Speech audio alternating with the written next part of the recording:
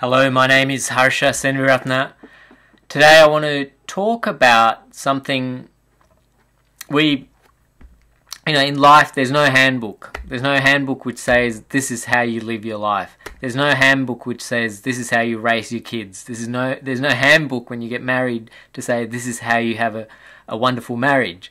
There's no handbook which says you know, this is how you create a relationship. There's lots of books out there, but there's no handbook step by step. You've got to you've got to navigate your way through life and, and work on your strengths and work on improving uh, or, or finding solutions to your weaknesses, whether it be support from other people or tools and strategies and so forth.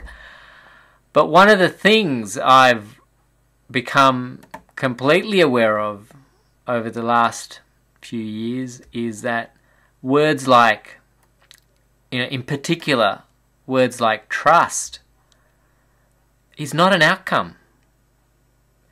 To be trustworthy,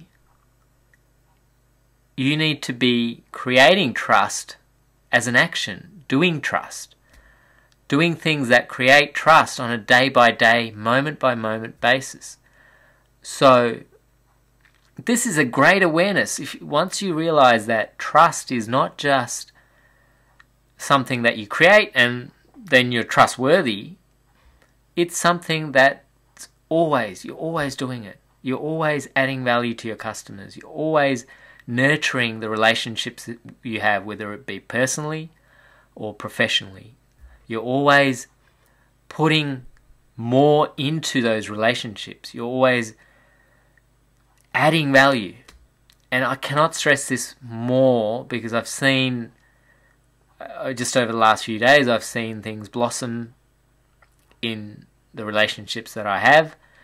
And I wanted to share this message. I wanted to share that act, trust is actually, if you can create a verb out of it rather than think of it as an outcome, you'll be on your way to a better life to better relationships all around you.